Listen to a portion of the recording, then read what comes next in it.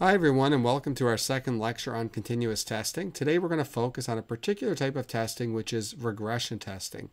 Uh, and I've got a concrete example, a case study here for you.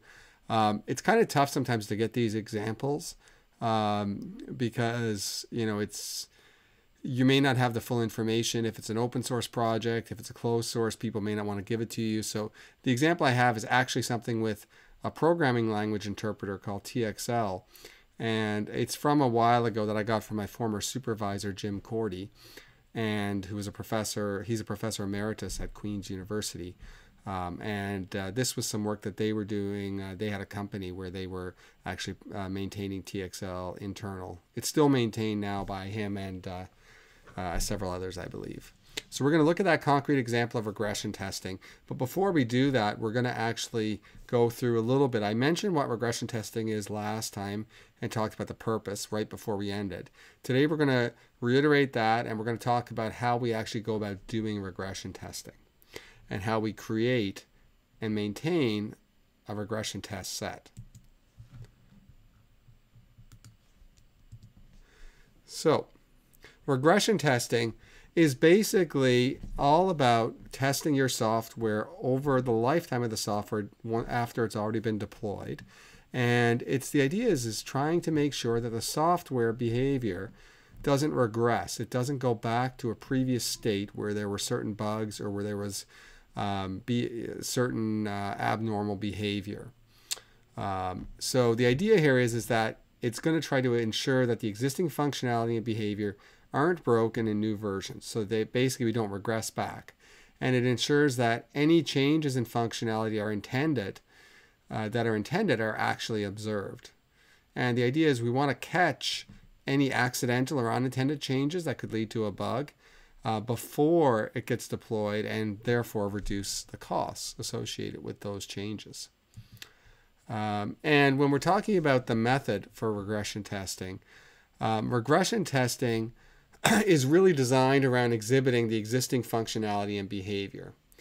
And so this is in some ways very similar to, you know, the requirements testing that we've talked about or functionality testing. That those types of tests play a key role in this. So with regression testing, one of the things you want to do here is you want to choose a set of observable artifacts uh, that demonstrate aspects of the functionality and behavior of the software that you want to preserve or ensure are maintained. And you may notice here now, I'm no longer just talking about output anymore of the software. I'm talking about observable artifacts because in addition to making sure that requirements are satisfied, we may also have other uh, non-functional requirements that we want to make sure are preserved, such as performance, uh, memory usage, uh, CPU usage, that kind of thing. So we may want to observe um, some artifacts that are related to those non-functional properties as well. Uh, and what we want to do as well is we want to build up sort of a history or a record of these observable artifacts for every version of the software that we create and release. And we want to, as we do a new version of the software, we want to generate obser the observable artifacts for that version and compare them with the previous version to ensure the differences are intentional. So the idea here is, is that each new version is going to be compared to the previous one. And if you want to, you can kind of think about this idea. It's very similar to like the induction proofs that you may have seen in a course like a discrete math course in university. Um, and typically, this process of going sort of from the originally deployed software system to the new version, comparing the new version with the original, the next version with the previous, the next version with the previous, and so on, this is actually called a regression series. And the reason it's a series is because we're incrementally comparing the results of each new version with the previous one, which has already been compared to the previous one, which was already compared to the previous one all the way back to the original. Uh, and it's sort of that idea of the inductive proof uh, that's sort of similar here. Um, just remember, if you do have any questions, feel free to ask either in the chat or you can turn on your mic as well. So that's what we've talked about is a regression series. So another thing to think about as well, which is another type of regression series, is uh, we can think about is uh, actually the maintenance of our test suite. So we're talking, the one we just looked at was the maintenance of our software system. we're also talking about the maintenance of the test suite. So one of the things is if we're continuously doing testing every time we release a version, um, it's ideal that we have, uh, especially when we're doing agile methods with uh, frequent releases, um, it's important that the number of tests we have is at a practical level, is not too high, and uh, that we actually try to keep them in check so that way uh, the build times don't become uh, unwieldy. Um, so what we want to be constantly doing as we add new functionality to the software is we want to replace old tests. Uh, if, say, for example, we update it functionality, we want to replace the old tests with new ones that cover the same cases, but are include the new functionality or the modified changed functionality. And the sequence of replacing tests that covered previous tests, that potentially covered previous tests and so on, can be also thought of as another type of regression series, only one of test suites in this case, or test cases. Um, and the reasoning behind this is that we don't want to lose anything when we're doing testing. So that means that it's always the case that our new tests are going to cover retired old tests, which in turn will cover previous retired old tests, and so on back to the originally validated test suite that we created when we first deployed the software, or even earlier than that when we were doing development. So it's this idea uh, here, we're maintaining the test suite as a regression series in the same way we're doing the testing of the software as a, a regression series. Okay, so the very fundamental idea here is when you're doing, remember we're talking about observable artifacts. So one of the very important things is we want this to be automated type of testing typically. Uh, and what I mean by automated is we want to have an automated way to assess if there are changes in observable artifacts when we run our test suite. And uh, in order to do that, we need to establish a baseline. And the baseline we first off we need to do is before we sort of establish what the baseline of the outputs are, the observable artifacts, we have to establish what the tests are that are going to be used in our regression testing. And typically we use the three types of tests that we talked about last class, which are the original functionality test suite that was used during development, um, the failure test, if any, that we have, as well as the the first operational test. And remember, we talked about last time about maintaining all three of these types of tests. So this uh, these three types of tests, they form the initial test suite that we will use for regression testing. And the very first thing we want to do is we want to validate that they all run correctly. And then once we choose our observable set of artifacts to be tracked, what we want to do then is we want to run our test suite and capture these observable artifacts and save them. And that's going to be our baseline. That, so this very first for this is for the version we've we've already tested and deployed. We're going to take these tests, assuming we're assuming here all of our tests pass, we're going to take the values, the outputs of the tests, all of the non-functional properties we capture and so on, and we're going to actually save them as our baseline. And when we do the next version of the software, we're going to compare its outputs to the ones that we just saved as our baseline. And so this is really important here because what we don't want to do is have to manually create all of our tests outputs from scratch. But if we have uh, if we take the existing test suite, we take the software which has been rigorously tested before deployment, and before we make any further changes, we use those values as the baseline, we're in pretty good shape to be able to automate this. Okay, so that's the baseline. And I mentioned already as well that we're going to want to add and re retire tests as we go. Uh, and that means primarily that when functionality is added, we have to add and validate new tests. What do I mean by validate?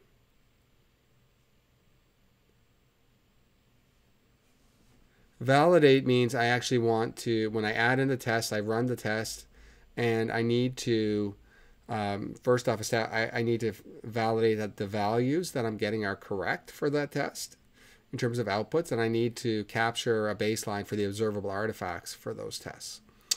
Um, now, anything, any uh, functionality that's changed, I need to add new tests and re retire the tests that are being replaced and do the same process of validating.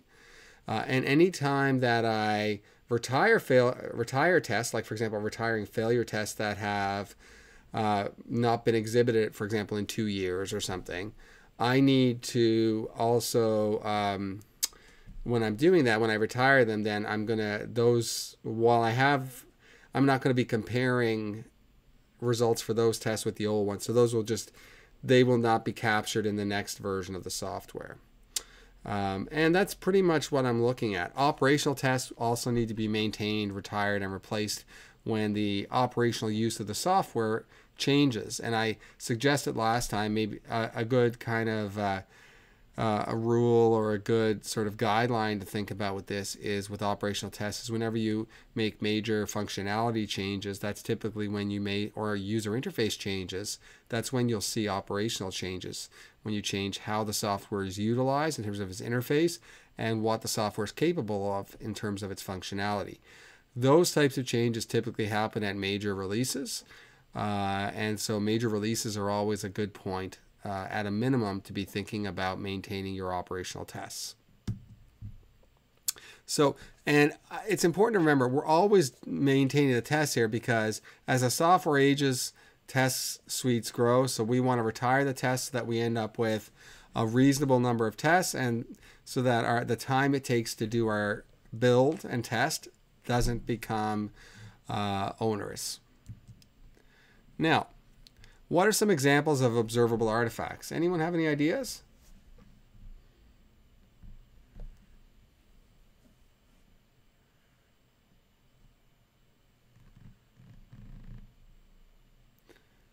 The UML diagrams? Well, that wouldn't be. Observable artifacts are artifacts that are observable from running our tests with our software. So things that are generated or speed. Okay, what do you mean by speed?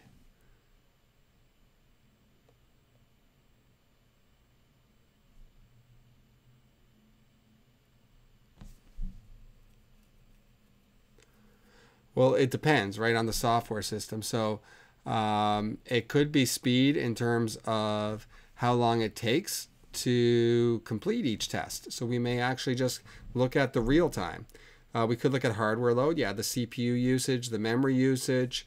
Uh, if this is a networked application, uh, we could look at uh, the amount of data that's being processed per at, a, at a, the rate of processing of data that's coming in and out, especially if it's something real time or if it's, for example, processing streaming video, that kind of thing. We could look at that. Um, we could also, if we're dealing with something command line, for example, a lot of the command line tools allow you to have uh, verbose modes. So you can run them in verbose where they give you more detailed output. So we could actually choose to, when available, run the software either in a verbose mode or with, um, for example, assertions turned on or uh, debugging information being logged, and then we have a, a debugging log which we can, uh, you know, for example, then actually uh, evaluate as well. So output that isn't normally generated by the tests if you just run it in the standard mode, but additional outputs that we could get about the internal workings. So these are all kinds of things. Log files are a very popular one, as I mentioned. Uh, any others? Memory usage, yep. So that was one we taught. Yeah, memory usage, CPU usage, uh, network bandwidth. There's all kinds of things that we could look at here. Um, it just really, some of it is very dependent on the software and the purpose and so on. Um, it could be not just CPU usage in terms of percentage, it could be number of CPUs utilized if you're talking about a parallel program. And the output, of course, is also key right? And that's both the output in terms of the standard output, uh, as well as any debugging or verbose output or uh, or whatnot, assertion violations, different things, logs, files, that stuff. So um, here's a list of some things we can think about. So observable artifacts, they can include um, the direct outputs of the software system, as well as other indicators of behavior. So um, those could include command line input and output, um, file streaming streams of output or input, uh, network output. It could be if it's an application that's connected uh, wirelessly to different devices. It can be the data transmitted between those devices in this uh, application. Uh, and it takes all of them together as observable artifacts, all of these different outputs of the software. Um, it could also include uh, outputs that aren't immediately visible, typically, uh, by turning on, as I mentioned, instrumentation flags, debugging, verbose, tracing, and so on and so forth. Um, those could also be things as well. Um, so you can get all of the standard outputs plus all of the additional outputs that are possible when running it in other modes, such as a debugging or instrumentation mode or with assertions on, that kind of thing. Um, in addition to those direct outputs, you also might be interested in performance, as was mentioned uh, by some of the students in the class. Um, and this measures both time and space often, right? Um, so, uh, for example, if it's a command line, we could use something like the Unix time command to actually uh, measure the time we have. And that and the time command can allow us to capture both the real time as well as the CPU time uh, by looking at both the system and user time here. Um, and then um, the other thing is is that uh, in addition to the time, you could also look at monitor CPU usage for uh, the application, that kind of thing as well. Um, and basically, what we want to do here is we want to capture all of these observable artifacts and then we want to be able to compare them, right? So we compare the current version to the previous version. And that comparison, we the simplest way is to do like a diff if we can. So ideally, we'd like to be able to take all of these observable artifacts and translate them into text if possible. Because um, that's much easier to work with. Now, that's not always possible depending on if it's a video based application or a game. This, this may not be as, as easy to do. So, um, but you know, this is sort of, you know, what's ideal. If we're dealing with other types of applications, we may have to modify our process. Um, okay, so uh, that's a little bit there uh, about uh, choosing the artifacts, but we also need to maintain them and difference them and, and make them archival. So the idea here is what we want to do is we're going to have all the different types of outputs and the different behavioral information that we can capture from uh, doing different types of monitoring of the software as it's running. Um, so what we want to do here is we want to combine all of these observable artifacts. We often want to do this is combine them all into a single file if we can. So sort of a big behavioral profile or signature. So what we do is if we can take all the different types of outputs and information we're collecting and we can put them into a file in the same sequence, right? So our output information is first, then our debugging information, then any time space stats, and so on. If we concatenate them all together in the same order each time, this would then allow us to diff those two behavioral signatures and see if there's any differences. Okay? Make sense?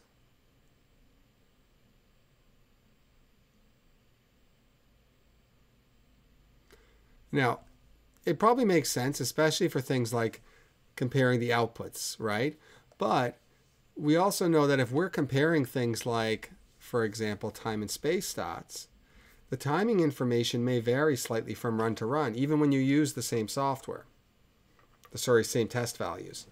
So one of the things you also have to think about when we're doing this is, is there are going to be cases where we're going to find differences that aren't really super critical. So, especially in the behavioral profile. So, I'll talk about how we address that later. And there are ways you can do it automatically, and there are also ways you can do it manually as well. And I'll talk about that in a few minutes. So, um, here's just one example, right? So, if we have, and this is using, and this is something that you probably are going to want to use if you're in your course project as well for the command line uh, testing that you're doing. Um, that typically uh, what you want to do is you want to compare the new version with the previous version. So you want to compare the new signature file and the old one. And what you're seeing here is you're seeing the, if you're doing it at the command line, now you may have in-house tools that do this automatically and generate a much nicer view. Uh, but what you're seeing here is you're seeing the just doing it with the Unix diff command and text files, right? Um, one of the reasons, the benefits of doing things command line is it's automated. It's it's really easy to automate. Uh, another thing is is it doesn't have a lot of overhead associated with it, so it can be usually pretty quick. Um, so if we're diffing these, what you're basically seeing here is you're seeing um, in the first case it's comparing lines uh, 314 to 314. Okay, and uh, what it's telling you basically is that, that those two lines are different. So this is actually time information and memory usage. So the time information is the user and system that combined together give you the CPU time. So you can see here that the timing information is slightly different. It's went from 0.3 to 0.7. Uh, and then you can also see there's some slight differences in the amount of memory in terms of the amount of, uh, that's used here. Now, those maybe aren't significant, so you may just decide to ignore those. The next thing you'll see here is it's comparing line 2721 with 2721 and 2722. And what you can see here is that instead of getting the end of run goodbye, it actually got an error, invalid command, create end of run goodbye. So the output line was different there. So this is actually something where the, the output of the program is different. So this might be something that's much more critical. Uh, but this is the kind of thing where if you see a difference in output, it's almost always the result of either a problem with your test or a problem with your software. If you see a, uh, a difference that's a result of performance information, you have to look at that performance information typically and decide is this a significant difference that we should be concerned, or is this within sort of the normal deviations we'll see depending on uh, the system we're running on and so forth. Okay. Um, so the other thing that we also want to do is, and this is where the automation comes in, is that it's often really useful to normalize the signatures. And what I mean by that is, is to allow it to be the differencing to be more automated. Um, any irrelevant or, or intentional differences between the versions, we factor them out. Okay. Um, for example, let's say we had, um, well, actually, I have an example coming up right here. Um, uh, but we can, and, and also the normalization can happen automatically as well. And we can use the normalization uh, to remove any intentional changes, for example, to the output. So the example I have here is what about if the previous software did all its output in, in uppercase and then we switch to mixed case, right? Well, if that's what we're doing, then what we would probably want to do is we want to normalize the two, both the new version and old version, to use the same case when we do the diff. Okay? Um, so that's something we would want to do. So either switch the new one to also be uppercase for the, just for the purposes of the diff, make a copy that's uppercase, that's a normalized version, and then the next time we do it, we can just use the mixed case because we can use the original mixed one. Um, the other thing that we can also do is use that to normalize um, information about. Um, so we, right here, it's I'm mainly talking about uh, eliminating non-behavioral or intended differences, but you can also do it a little bit with behavioral sometimes too. Uh, but that's a little trickier because what you would have to do, if we go back to this version, for example, before, right, what you could actually do is you could do things such as deciding what's a normal range of values for time. And so rather than report the exact time as 0.3 or 0.7, you could normalize the time if it's in a certain range as being, uh, you know, low, medium, high, or something like that, where you map specific values to a more general value. You lose precision information there, and then you have to go back to the originals to see it. But that can sometimes be a way of of allowing you to um, address issues that are minor. Um, so, for example, one thing you could do here is you may say, you know what, I'm not too worried about point whatever uh, you know, in terms of the, the time here. So I'm only gonna I'm gonna truncate at the decimal place for time. So zero. So that means that the user times just become if I truncate zero zero. So now they're the same. If I just cut off the 0.3 and the 0.7 and say I don't need to be that precise. So you could reduce some of the precision to reduce some of the the common sort of noise that you might get from run to run. Um, although I doing the behavior stuff automatically by through normalization is tricky and I only would recommend it in cases where you have a there's a well understood um, you have a well understood um, knowledge, I guess, about what behavior is acceptable and what behavior is not. And if you if you know if if you're not at all sure if it's if it's appropriate to do, it's best not to and to look at these manually until at least you get a more of a handle on what you're sort of looking for in terms of good and bad um, differences in terms of the behavior. Okay. Oh, uh, another example of normalizing that sometimes you also have to do. Um, this is kind of a neat example. It's something I've done when I've been doing testing with um, concurrent software. Is often with something like concurrent software, if you have non-determinism, uh, meaning you have randomness in the output. So different threads can output information at different times. So the output is all the same. It's just the timing of it can vary. So the order can vary. And if you want to automate uh, comparing outputs with like parallel programs or concurrent programs, one of the ways you can normalize it is by normalizing it by uh, doing things like sorting. If you know that the programs output things on a line by line level, you can sort the outputs alphabetically and then you remove differences in terms of the the ordering because of how the threads have been scheduled. So there's there's all kinds of times where you may want to normalize stuff for testing. So it's something that is is used regularly i, I would say and you should keep it in mind.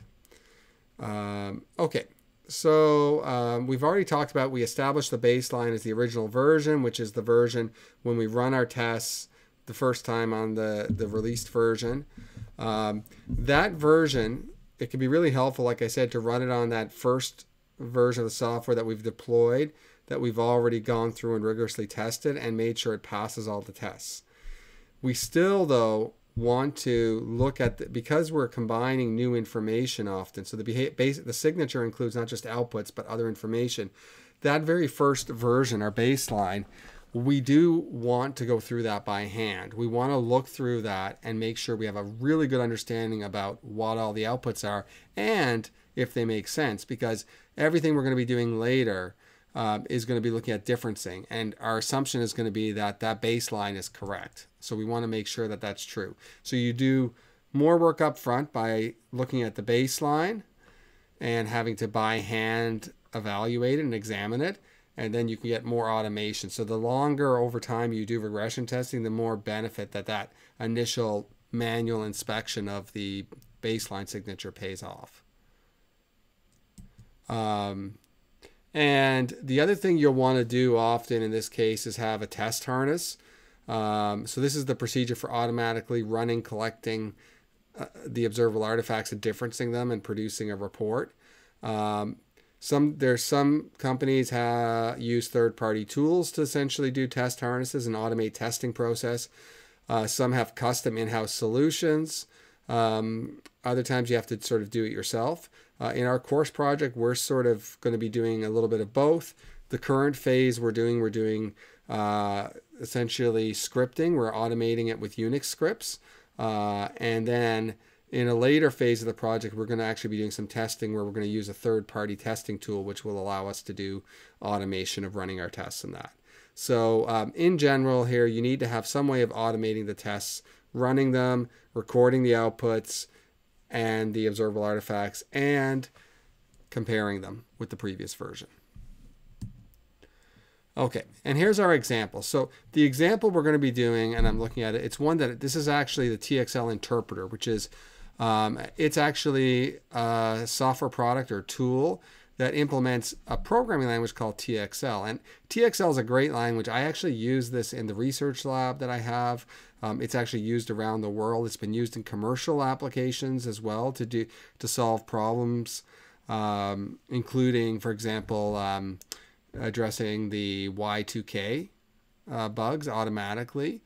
Um, so this is something that has been around for since the I think it was early 90s it was uh, first developed, and uh, it's been around for a while. And TXL Interpreter is it, it actually takes in as input TXL programs and interprets them. Um, so it takes in this TXL program, which contain a whole bunch of rules about uh, how to transform some sort of um, source file. And TXL is a, it's not, it is actually a transformation language. So it contains a lot of by example rules for how you actually convert or how you actually analyze a particular software or, or source code file. So, for example, um, TXL, you might write a TXL program that takes in uh, a C file and converts it into a Java file.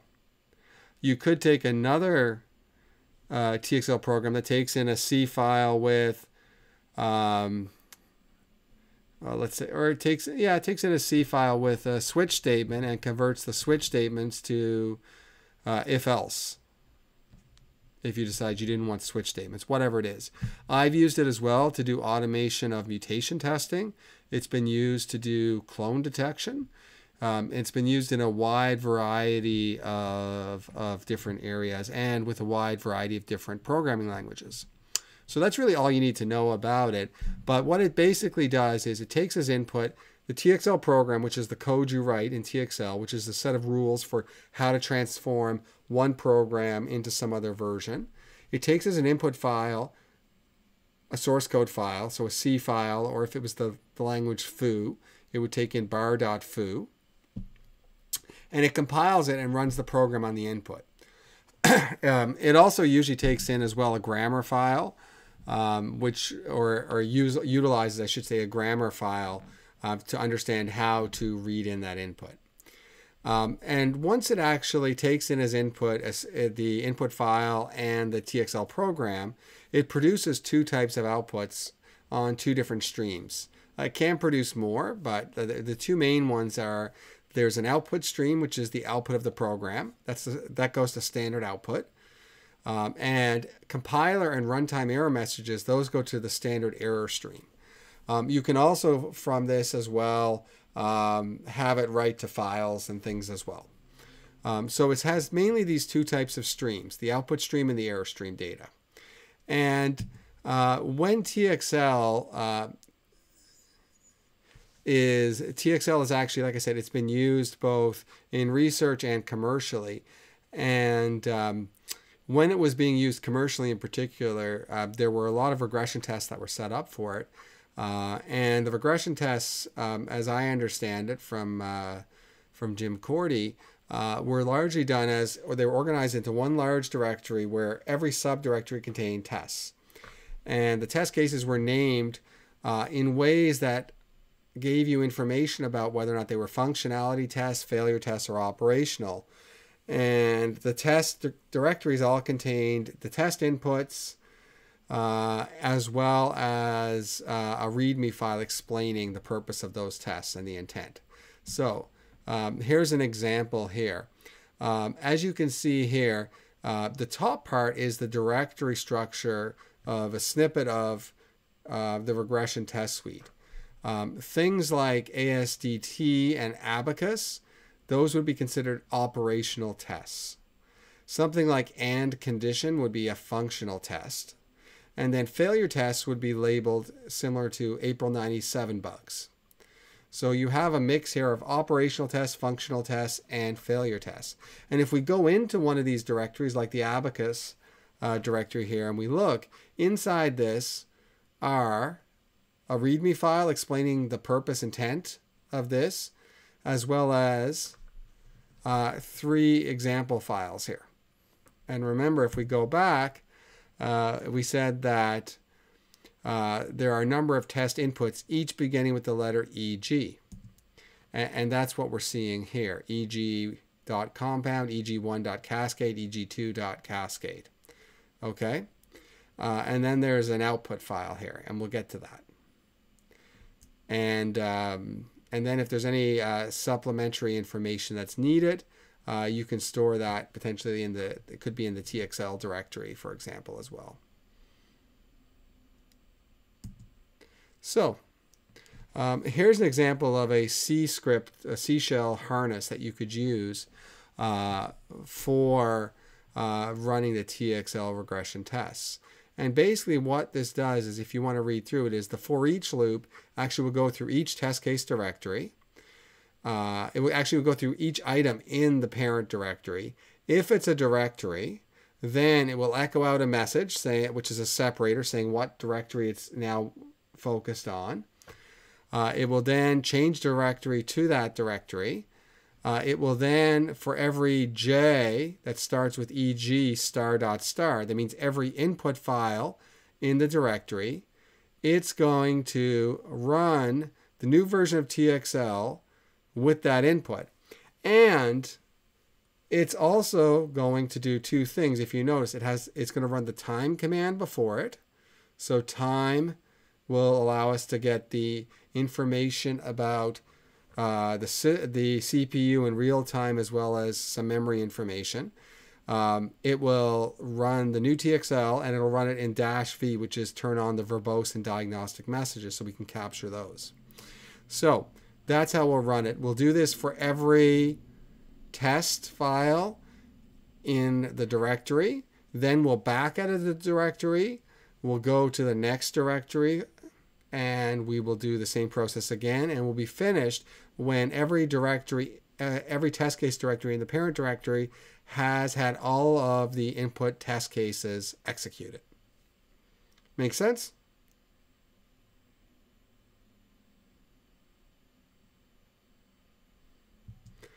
Okay. Uh, then the next thing we're going to do is, uh, which I want to sort of show you, is that if you look at it, this is the script called new test all. Okay, this is going to test everything. So when we run this script at command line, here's what we're going to do. We're going to basically run this and we're going to capture all of the different output streams and store them into one file. So that that angle bracket followed by the ampersand will allow us to get both the output and error streams and we'll save them into the file nta out 2.42. So it puts all direct and diagnostic output into the signature file automatically. Okay? And then what we will do is once we've ran all the tests, captured them, put them all in the signature file, we will then diff the signature file from the previous version, version 2.41, with 2.42 and see if our software has regressed, if it has any unintended behaviors or errors that we haven't expected.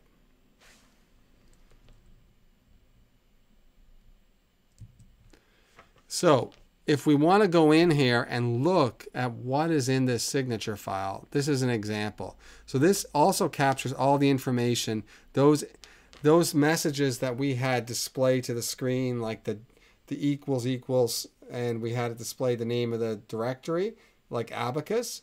We can see those messages show up here. Um, what also shows up in here, I believe, as well, is the time information from the time command, shows up at the end. Um, and basically, this will then allow us, and it's important to do this where we actually display the test information into this file um, because this will give us context. If we don't put anything in there but which test we're running every time, if we find a mistake, how do we know what output that was from? So we really, it's sort of like in some ways, it's good documentation of your behavioral signature files um, to actually include information about each test that's being run and so on so that you can clearly, when you find an issue, go back and know exactly what you ran to get that uh, unexpected output. Okay, so what we're seeing here basically, if we want to look at this, is we're seeing that um,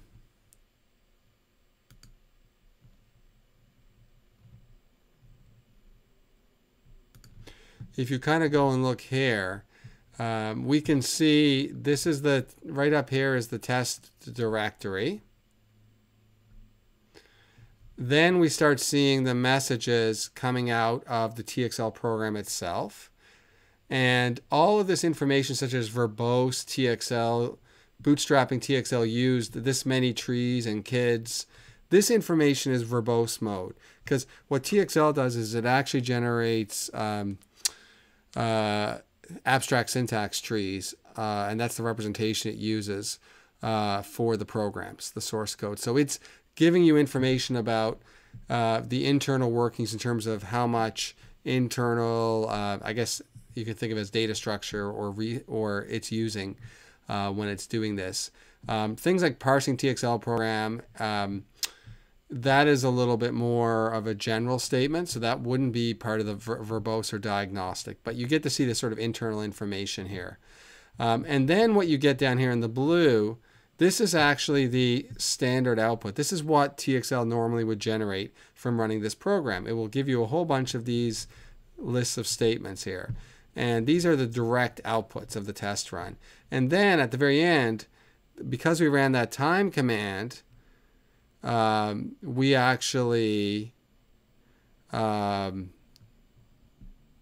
ended up uh, getting this as well in our signature file, which is for this given test, it took 0.0 seconds basically. So the it took so little time that it wasn't captured at that at this level of granularity. And you also see some stuff with the memory here. Now,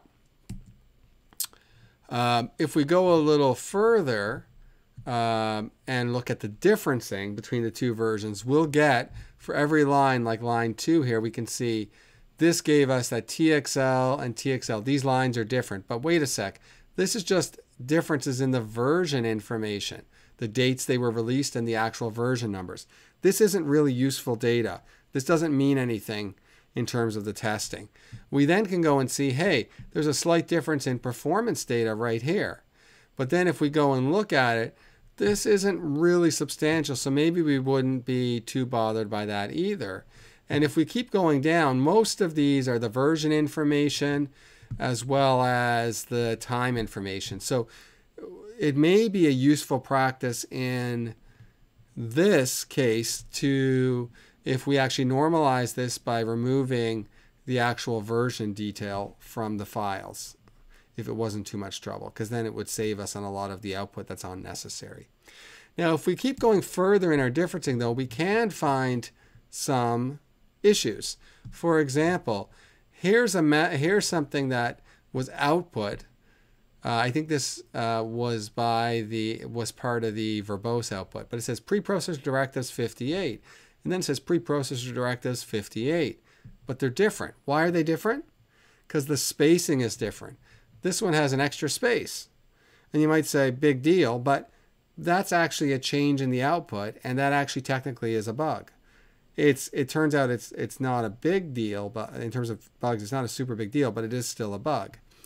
We also can see here that um, there's actually been a significant difference in the performance here, right? Um, you know, in terms of the percentage.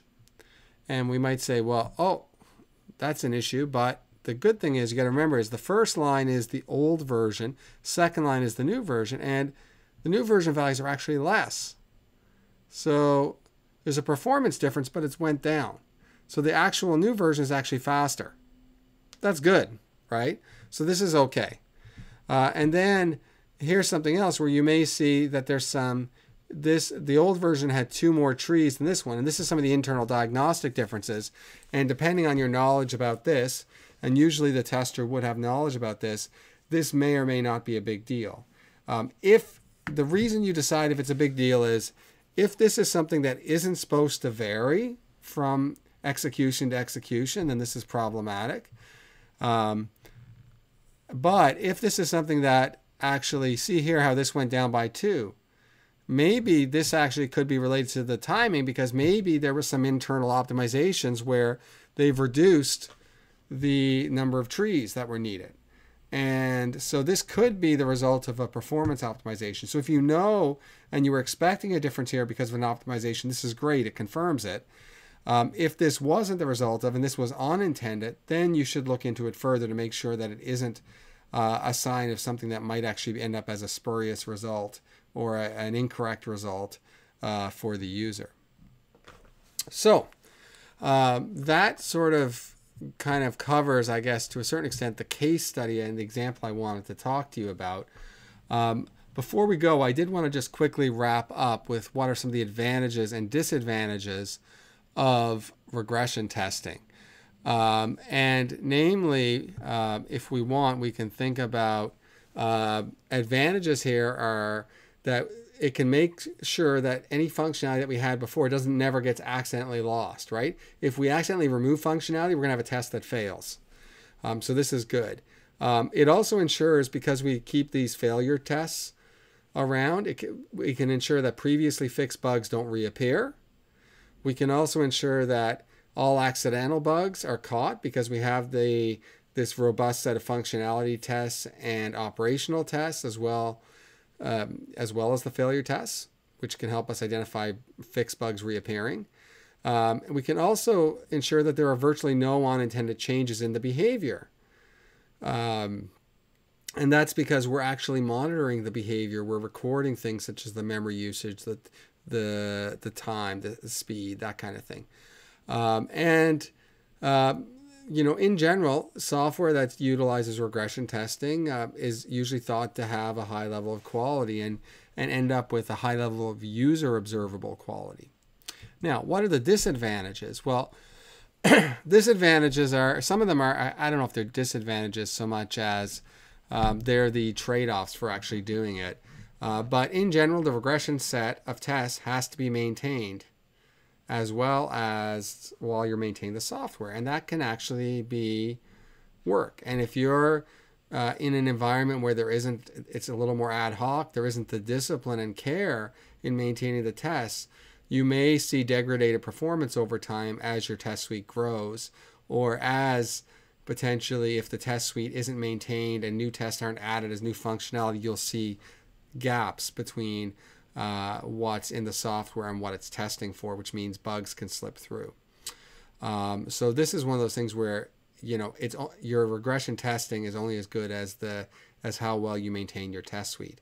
Um, the other thing is that um, there's significant upfront effort required when establishing the baseline, which has to be manually evaluated, and building the test harness to do the automated part of the testing. Um, both of these take time. Um, they pay off later, especially over the lifetime of longer of products that stay around longer. But if your product isn't going to be used for an extended period of time, these may not seem worth it uh, to some. Um, so it, it's one of those things where it pays more and more dividends the longer your software will be uh, deployed and maintained. Um, so the bottom line about regression testing now is basically regression testing is, is a fairly standard uh, practice in companies uh, in in the software industry. Um, it's not something that people just say I'm going to skip. It's typically something that every high quality software shop is going to do, uh, and there's a track record of success of using this uh, in practice. So. Um, you know, this is something that is important for you to understand and know because most likely wherever you end up getting a job, uh, if you're doing any development as part of that job, you'll end up uh, having some experience with regression testing. Okay, so in summary, uh, what we've done today is we've actually done uh, an overview of regression testing, both how we actually set it up, how we maintain it, and we've talked about um, how regression testing works in practice by actually going through an example of the TXL interpreter and regression testing with that. Um, we also talked about the importance of maintaining the regression set of tests, uh, which include functionality tests as well as observe, um, operational tests and failure tests. And we also talked about uh, the importance of not just comparing outputs of software, but all observable artifacts that are relevant. And these can capture both functional and non functional aspects of the software that you want to make sure um, you have an understanding of and want to make sure that you are aware of any changes to. Okay, so that concludes the lecture. Thank you all very much uh, and have a good evening.